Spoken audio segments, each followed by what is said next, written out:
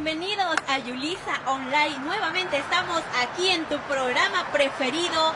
Pues hoy estamos muy eh, contentos y agradecidos a nuestros amigos de Vinoco Restaurant, donde ustedes van a conocer la especialidad de la carta, ubicados en Miniola Boulevard, en 147 Miniola Boulevard. Así que todos ustedes, amigos televidentes, pasemos a conocer un poquito más de Vinoco Restaurant.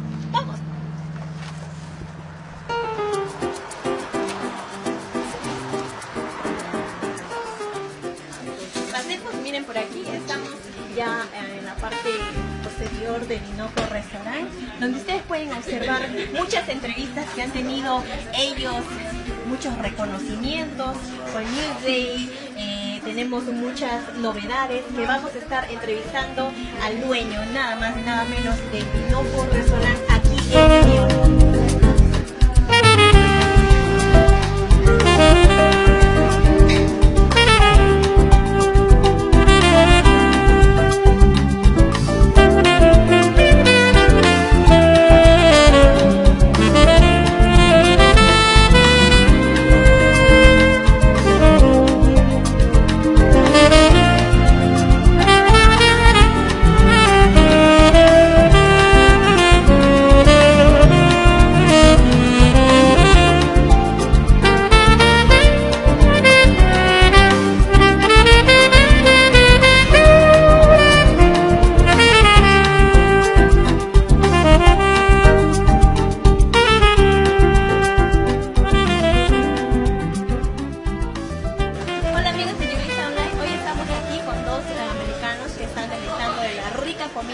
Minoco Restaurant. Ellos van a decir algunas palabritas para ustedes, para que puedan venir a visitarnos a la 147 Miniola Boulevard. Aquí estoy con mi amigo Carlos. ¿Cómo estás, Hola, Carlos? todo bien, gracias. Bueno, pues yes. Tell me about the restaurant. What did you like? What is special? You like wine? I see that. You guys drinking something, the beers. Tell me about it, Carlos. Uh, Carl's food was delicious. The empanadas were great. Um, tacos were very good as well. Everything amazing Everything here. is amazing, delicious. Yes. Muy deliciosa. Muy deliciosa. Everybody from Peru should come up here and come visit Pinoco. Thank you so much. Thank you so much.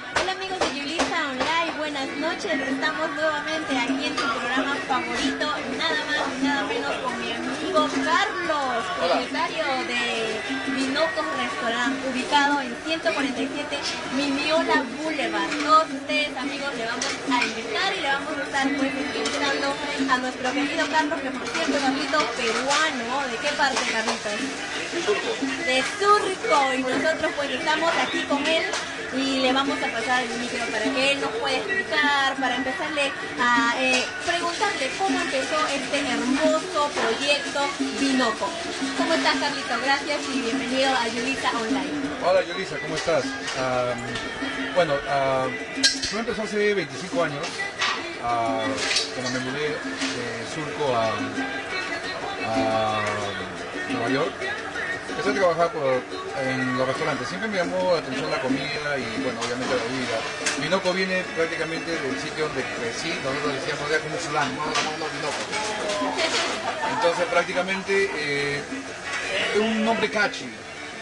Pero eh, cuando empecé a trabajar con la gente de las grandes ligas, como se puede decir en la gastronomía, eh, restaurantes, dos restaurantes en la ciudad, me cuenta ah, un par de preguntas que siempre me dice, eh, ¿cómo lo haces?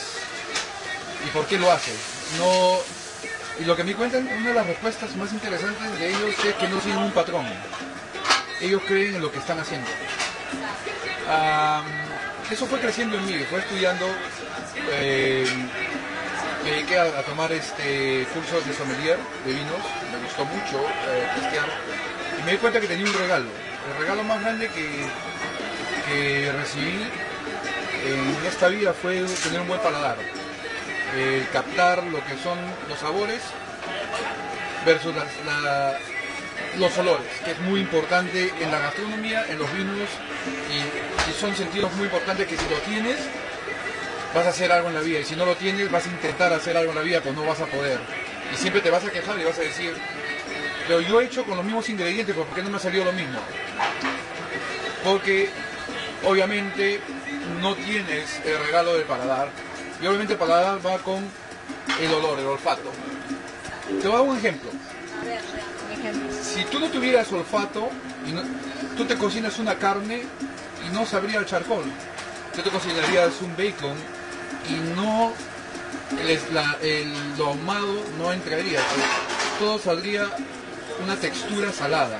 El bacon sal- sería una carne salada, no tuviera El ahumado va de frente a la nariz y eso es lo que explotamos bastante. En, el otro punto es, nosotros tenemos cuatro elementos muy importantes en, el paladar, no hay quinto. Es dulce, sal, amargo y ácido. Si tú me, si tú me encuentras el quinto yo ahorita, te doy mi restaurante. No existe. En la parte de esa nosotros tratamos de nivelar y ponerlo en un buen nivel todo lo que es eh, la sal, el azúcar, el amargo y el ácido.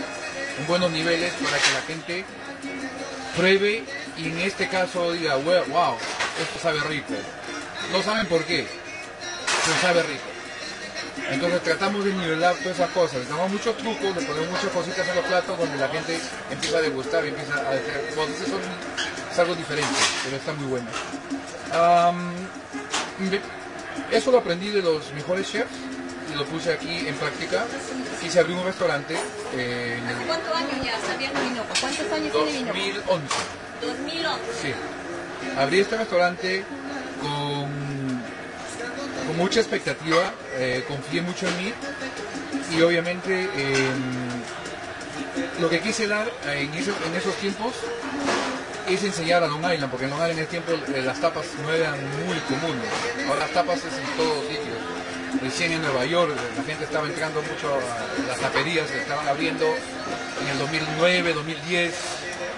Para Long Island fue nuevo, unos dos o tres restaurantes que abrimos en taperías y, nos resultó bien. La gente empezaba, venía un poco asustada, decían que eran, no nos vamos a llenar, es poquito, claro, pero no, la historia es, vas a degustar muchos diferentes, diferentes platos. y luego- exactamente. Ahora, yo me, yo me fui a una de las ramas las tapas, que no es realmente unas tapas de España, para mí me voy a una tapa lo que es un global. Eh, global. para mí es, eh, yo he viajado, he viajado mucho, eh, he vivido en Europa un tiempo. en todo sitio, en diferentes partes del mundo que he viajado, hay algo rico.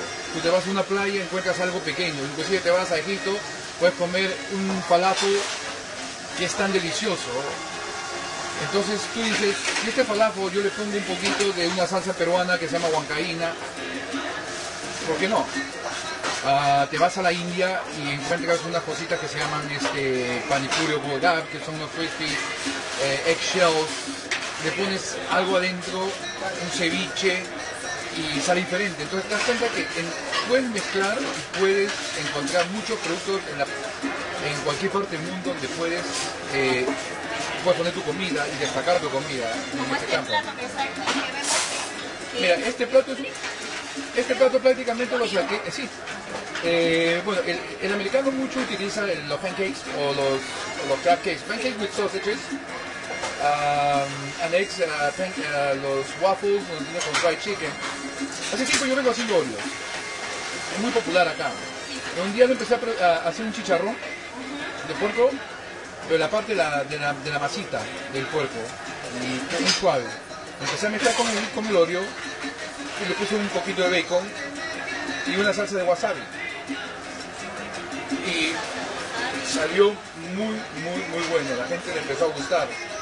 Y es una de las cosas por qué la gente viene acá, porque no va a encontrar algo ah, diferente. Yo no voy a lo más fácil. Yo no exploto, yo no compito con, con ningún otro restaurante, ni con mi país, ni con otro país. Yo compito con Carlos Román, conmigo. Si yo, si yo cambio mis menús cuatro veces al año y si hago un menú malo ese año es por mi culpa. Eh, porque no le tomé atención. Yo siempre compito con lo hago. Y obviamente estoy trabajando con cosas que, por ejemplo, otro día estuve conversando con una colombiana y, me decía, la bandeja parece muy rico. ¿Qué te si lo hago en un vaso? Y me dijo, pero ¿cómo puedes hacer un vaso? Claro, del parfait son de varios layers, varias este, capas de comida, podemos, podemos este, desprendernos del producto que es, es una bandeja paisa, es frijol, arroz, abocado, puerco y al final un huevo frito, ¿no? Y obviamente salchicha, entonces lo puedes poner en diferentes capas y servirlos con una cuchara. Y ahí estamos hablando de, de una vista, ¿no? De algo bonito, algo hermoso, algo diferente, donde los productos están ahí, lo van a probar, está ahí, solamente en diferente, en diferente, en, en- en otra dimensión, en otra, en otra fase, en otra, en otra forma, perdón, en ese, en ese caso. Sabemos también, Carlito, que tienes otra ubicación, que has abierto tu segundo restaurante. Felicidades, nos alegramos mucho que un peruano esté saliendo adelante con tanto éxito. Vemos los clientes atrás de este programa que están deleitando de las maravillas que Carlos, pues, como él dice, luchando todos los días con él mismo. Carlito, cuéntanos un poco de- del restaurante en Farmingdale, que lo estuve visitando la semana pasada y estuvo muy hermoso, el ambiente maravilloso, eh, los trabajadores, las personas, súper, muy, muy bonito, me encanta. El restaurante en Farmingdale es, es, un restaurante más para, ah, para- una cocina ah, como dining room, ah, comida. De Farmingdale es más piqueos y es un bar prácticamente donde la gente va a divertirse. Donde hay eventos. Invítanos a todos los eventos que están. Definitivamente. Ah, por ejemplo, hoy día tenemos eh, música en vivo, mañana tenemos música en vivo, ah, mañana es a Beatles Nights. Eh, van, es ya, eh, van a tocar música de Beatles y bueno, obviamente Late Night, Late Night tenemos a DJ.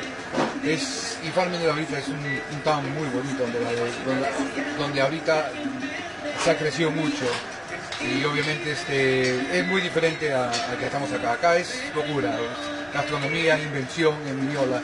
Farmingdale es lo que es diversión, unos traguitos, es eh, música en vivo, es otra cosa diferente. Bueno, obviamente las, las tapas deliciosas. ¿Cuál es la especialidad, la carta de aquí de Vinoco? ¿Cuál es lo que los americanos más te dicen? Carlos, veo que llegan americanos y te dicen, Carlos, yo quiero que tú me prepares, que tú me, me digas qué es lo que Mira, tienes yo, que preparar hoy. yo- yo- yo te voy a decir una cosa. eh, yo estuve haciendo, eh, hice un- una mesa el otro día, me, me llamaron y yo les prometí hacer una mesa de acuerdo al background de la gente. Eran siete personas y cada uno me dijo, yo voy a traer siete cursos, de los cuales iban a hacer según su background. Alguien me vino y me dijo, yo soy alemán. Mi background es alemán. Y yo le dije, bueno, este, no tengo muchas cosas alemanas, pero sí tenía mostaza. Entonces obviamente a- agarro y, lo, lo primero que hice fue empanadas. Hice puse un poquito de mostaza con papas y tocino y mayonesa y hice un, una German potato salad. Lo puse con bastante eh, tocino en, en- dentro de la empanada y la, la gente le gustó bastante. De ahí era un tailandés, una japonesa, había, de, sí, Mezclas de todo. de todo, de todo. A mí me gusta eso. ¿De qué años, desde cuántos años tú empezaste con esta Mira, yo a los 16 años, yo venía después de una fiesta y freía este chicken skins, se lo, lo comía en sándwich. Crispy chicken skin, que era muy bueno, y ahora se están haciendo, ¿ah? O sea, en ese, sí, ahora se ponen crispy chicken skin eh, de pato en, en- en- en los sándwiches y muy, muy buenos. Hay producto, hay producto en el mundo y hay muchas cosas que podemos eh, eh, eh, escarbar, eh, podemos eh, trabajar con esos productos, ¿no? No es necesariamente eh, te relacionas a un país, yo no voy a un país, yo voy a varias cosas. Lo mismo con el, con el postre, lo mismo, hay, muchas cosas. El otro día hice un postre y le puse, a mí me gusta mucho la comida hindú, me gusta mucho, la, hay un plato que se llama curry, korma, que es este, ah, derivado como el ají de gallina en Perú, pero el ají de ma- gallina en Perú tiene turmeric. El curry es una mezcla de turmeric, eh, de comino, de muchos este, spices. Pero esta le puse coco, porque el chicken korma tiene coco y sale muy rico, es medio un agridulce eh, como de, de coco. Entonces lo que hice fue, tiré más al coco, hice un arroz con leche de sabor a, a. Salió muy muy bueno. Entonces tú puedes transformar lo que es un postre en sal, un sal en postre. Eso no hay duda. Con tal que tú lleves la magia de ecualizar bien eh, los sabores, eh, el balance que tú le puedas dar al plato. ¿Te das cuenta? El producto está, puedes agarrar un chocolate y puedes poner en sal. En México, lo hacen eso también en Perú también. Pero es como lo vas a poner, amargo, dulce, le vas a poner ácido, le puedes poner barbecue, muchas cosas puedes hacer. Así es, Carlitos. Cuéntanos un poquito también de, de cómo este, trabajan aquí los muchachos, cuántos trabajadores tienes, cómo es tu, tu manera de ser con ellos. Cuéntame, más amigos, veo Yo- que tienes bastante amistad como hermano. Sí, sí. Yo, yo, hay, hay momentos donde obviamente se juega, hay momentos donde obviamente se trabaja. Cuando quiero crear algo, obviamente hablo con ellos. Cuando no está muy, muy ocupado, hablo con ellos. Creamos. Siempre trato de decirle por qué. Yo no quiero que la gente se memorice las cosas. Quiero que la gente le saque un común denominador a las cosas y, una respuesta. Porque si alguien me pregunta, el otro día, por ejemplo, eh, a uno de mis, cocineros le preguntaron ¿por qué esto está frío? Y no le supo responder. Entonces yo le digo, mira, ¿sabes por qué está frío? No tengas miedo. Tiene mayonesa encima y tiene salsa criolla, que es una cebolla. Eso le enfría las cosas. Entonces yo trato de hablar mucho con ellos, tengo un diálogo muy bueno. eh, y, y ellos me respetan mucho en ese sentido. Me parece que bien, bien estamos aquí, aquí como ustedes pueden observar también, Carlitos, es la especialidad del vino. Cuéntanos un poquito del, del vino. Vino. ah, ¿Cómo empezaron? ¿Cómo empezaron? bueno, empezamos con... Mira, yo tengo una pequeña lista. Yo no me gusta... ah, yo no soy el tipo de restaurante donde te voy a traer un libro de vinos y te voy a mostrar, mira, ¿sabes qué? Acá tengo todas las cosechas que tú quieres, porque te voy a cansar uno, dos, te voy a asustar con los precios y, tres, vas a pensar que los precios caros, después yo te voy a tratar sobre vender. Yo tengo una lista, yo amo las, una selección de vinos semanalmente, de 35 vinos tranquilos que se puedan probar y que se puedan mezclar. Cuando tienes una lista muy grande de vinos, lo que haces es este, asustas al cliente. El cliente empieza ¿Por qué? pues, no será la palabra asustar, eh, lo intimidas. Ya viene la palabra, eh, la página 500, y tú ves ya los, los vinos a mil dólares. Tú lo que tú quieres tomar es un buen vino que tenga las cualidades que puedas eh, hacer un pairing con tu comida. ¿Te das cuenta? Eh, que no sea muy amargo, que no sea muy ácido, porque si está muy ácido no está bueno eh, que tenga un buen balance para que tú puedas te gusta porque ahí está el gusto. Tú combinas la persona que sabe comer y tomar el vino con el vino, es, tienes que morder la comida y a poquito rato tienes que mojarlo con el vino. La mezcla de eso te da un buen sabor, precisamente eh, the third flavor, el tercer sabor que estás buscando. Lo mismo con las salsas. Eh, la gente que se toma el vino o tomar y no lo sabe combinar con la comida, entonces este, eh, se le se trata de educar a la gente, ¿no? Se quiere decir, mira, yo, yo siempre le digo a la gente que trabaja conmigo, la mejor manera de comer un- de tomar un vino pairing con, con tu comida es comes un bocado, muerdes, empiezas a saborearlo y tú tomas una- un, solo vino. Esa mezcla es lo que te va a dar un sabor muy bueno. Yo quiero que incentives a toda la gente que recién está pues empezando quizás un negocio, que tiene sueños y que ya tus sueños están ya pues realizados Esa todos. Quiero que usted, Motivar a la gente. exacto, ¿cuál es la motivación que usted secretito incentiva a toda la gente yo te voy a ser sincero. No sé si vaya a caer bien o mal. No copies.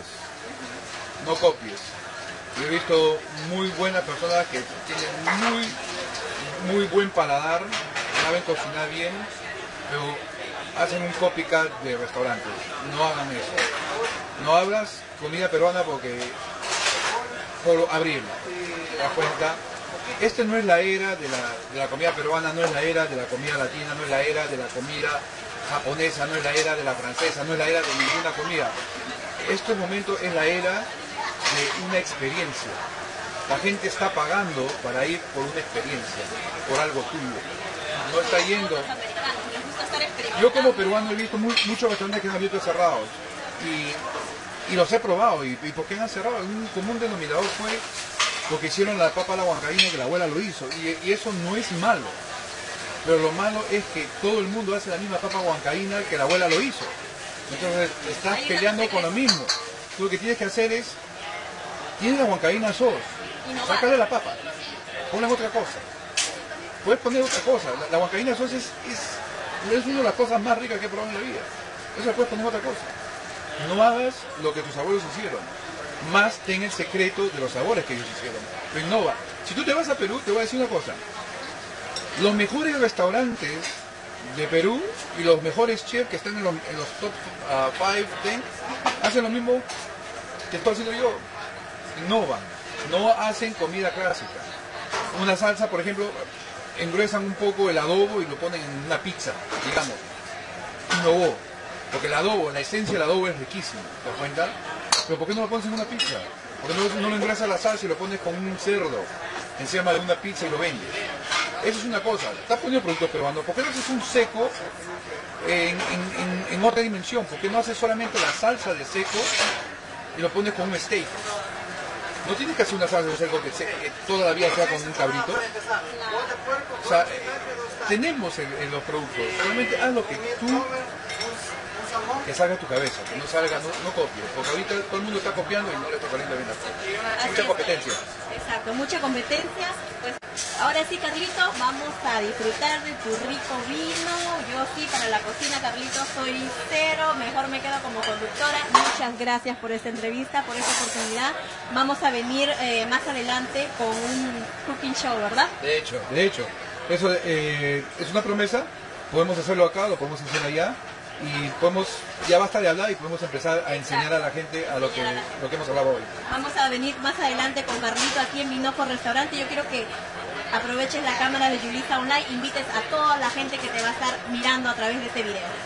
Bueno, les invito que vengan a, a apreciar un poco lo que estoy haciendo en, en Miñola, Minoco uh, Wine Bar and Tapas Restaurant, localizado en la 147 Miñola Boulevard, y el otro está localizado en la 223 Far- uh, Main Street en Farmingdale.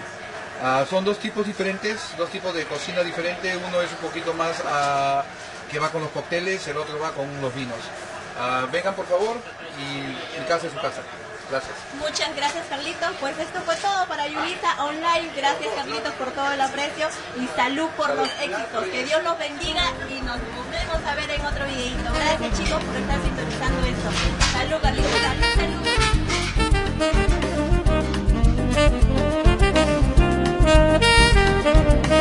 salud.